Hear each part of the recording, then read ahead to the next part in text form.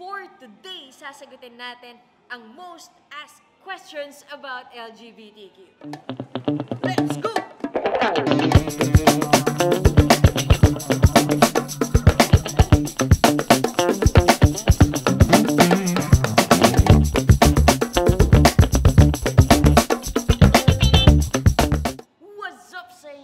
Girls, boys, baklas, and tomboys?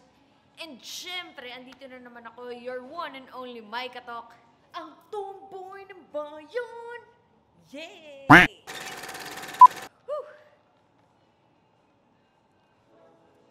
May nagtanong sa akin, nasa na naman daw ako.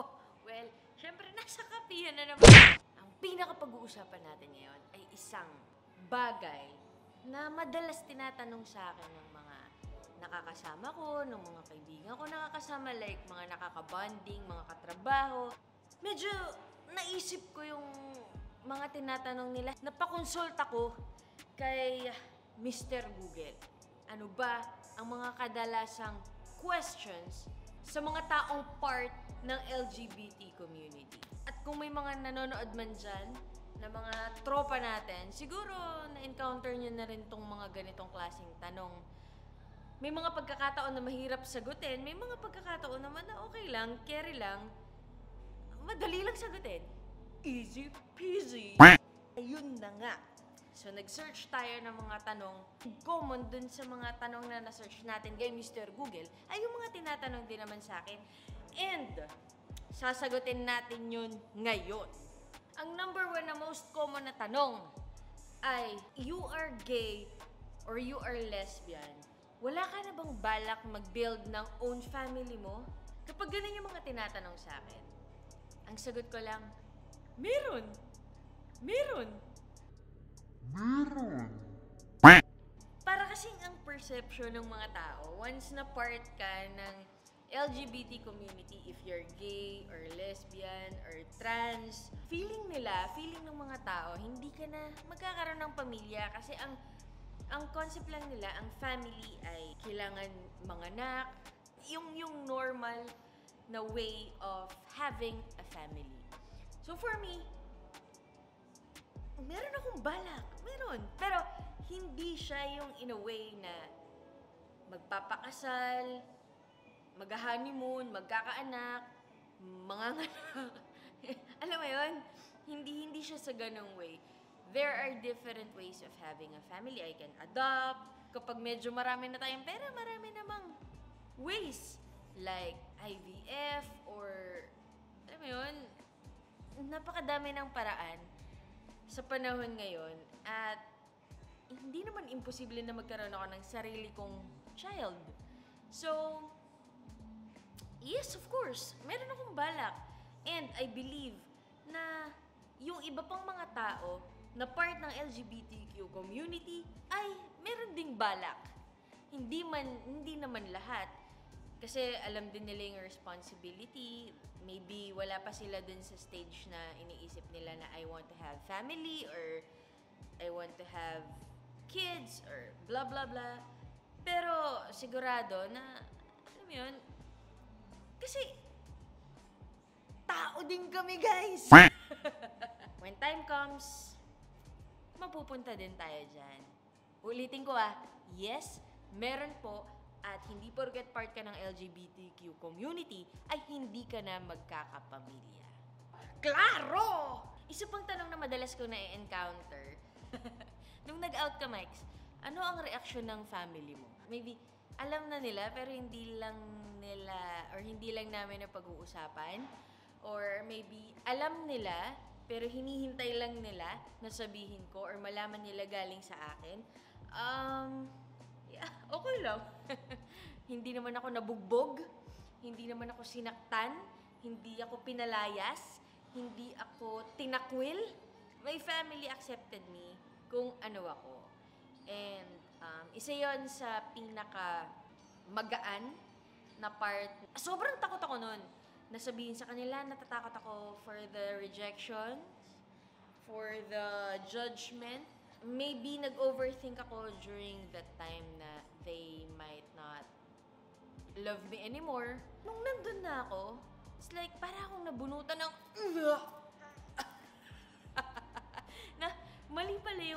ine-expect ko na magiging reaction nila.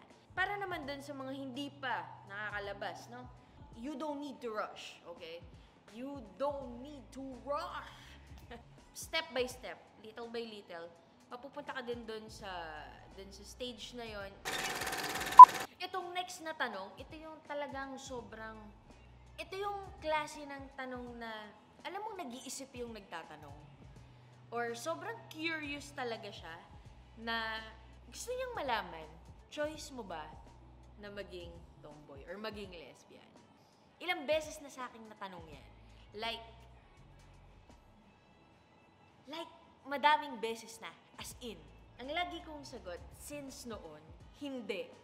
Kasi sabi ko, ito yung nararamdaman ko, ito ako. And then eventually, habang lumilipas yung araw, habang lumilipas yung panahon, mas nagiging aware ka sa sarili mo eh. About your needs, about your wants.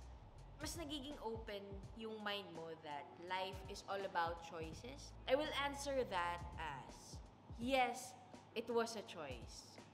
I choose to be happy. Elaborate, baka kasi merong makamisinterpret, no? It was a choice for me. I choose to be happy. I choose my life. I choose my heart. I choose my preference. I took the small steps hanggang sa mapunta ako sa decision na yon to come out, to be true to myself because it's your choice to be happy, to be true to yourself, or to hide. Isa pang tanong na na-encounter ko nung sinesearch ko kay Mr. Google, can you cure homosexuality? Tanong? Tinatanong mo talaga yan? Para sa mga taong ganyan ang tanong sa isip nila, ito po ah, ito po. Hindi, hindi po ito sakit. Uy, may iba kasi nagsasabi parang, ah, kaya naging bading yan kasi nahawa. Luko! siguro kulang lang din sa explanation or sa exposure or sa pakikipag-usap yung mga taong ganun yung iniisip. And um, I respect that. Kasi hindi naman nila alam eh. Or maybe out of curiosity, natanong din nila yung ganong klaseng bagay. Kasi nga wala silang alam. Hindi nila alam yung, yung sitwasyon. Hindi, hindi. Hindi, hindi. Lumabas din to sa Google na madalas na tanong, isa siya sa top search ng mga magulang. And na-encounter ko na rin tong tanong na to sa isang friend ko na magulang na siya. Tinanong niya ako, sabi niya sa akin, bakit kaya yung anak ko bading? Hindi yung parang namili ka lang ng ng prutas or ng gulay sa palengke na ito ang gusto ko. Ito magiging ako. Hindi po ganon. Hindi nila alam. Kasi ako, nung bata ako, hindi ko naman alam eh na siga ako maglakad. na hindi ako aware na mas gusto kong kalaro mga lalaki. Hindi ako aware na ayoko ng dolls. Gusto ko baril-barilan, gusto ko mga kotse, gusto ko bike, aakyat sa puno. Hindi eh. Kapag mga bata, wala kung ano lang yung gusto nila, kung ano yung nafe-feel nila. Yun lang, natural lang nalalabas yun. Meron nga nagugupit sa akin eh, yung barbero. Nakakwentuhan ko. Kasi tinanong niya ako eh. Sabi niya sa akin, "Ah, boss, anong ano, anong trabaho mo dito? Eh, kwento-kwentuhan na kami. Ganun. Marami nga nagpapagupit sa akin dito na kagaya mo, sabi niya sa akin. Hindi niya madiretso eh. Sa totoo lang ako, meron akong anak, sabi niya, bading. Bata pa, nag-aaral high school, sabi niya. Sabi ko, oh, ayos ah. Ano namang ano mo, anong plano mo? Sabi niya, basta kung ano yung gusto ng anak ko, doon ako, kahit bading siya, okay lang sa akin. Basta mag-aaral siya ng mabuti, magtatrabaho siya, hindi siya, alam mo yun, yung hindi siya gagawa ng krimen, hindi siya magdodroga. Sabi ko, boss, ayos ah, hindi lahat ng magulang ganyan, sabi ko.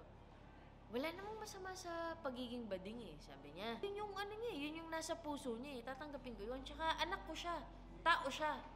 Hindi naman porket bading ka or tomboy ka, eh masama yung gagawin mo sa mundo. Hindi. May nakakwentuhan pa ulit ako. Si Tita Jackie Lu Blanco. Nux, tita.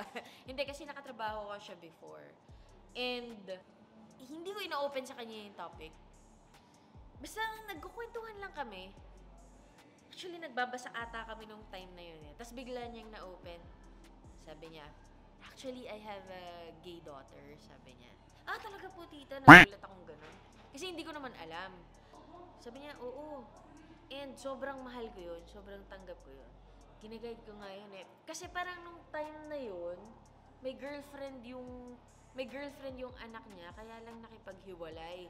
So, para sa kanya, gusto niya, tropa-tropa pa rin sila nung anak niya. So, sa kanya magkukwento, gusto niya na yung heartaches or yung pinagdadaanan ng anak niya, isasabihin sa kanya. So, sabi niya, kahit ano preference ng anak ko, tanggap ko yun.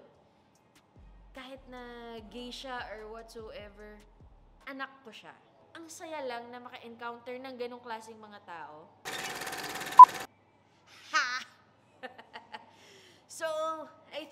All for today. I've already raised my case. Be happy, live your life, stay healthy. Peace! If you like our video and if you support, if you love LGBTQ community, don't forget to subscribe. Huh? Subscribe. I'm gonna be myself, or I could be someone else. No one's stopping me. I'm gonna skip my breaks. I'm gonna make mistakes. I just wanna feel alive. It's just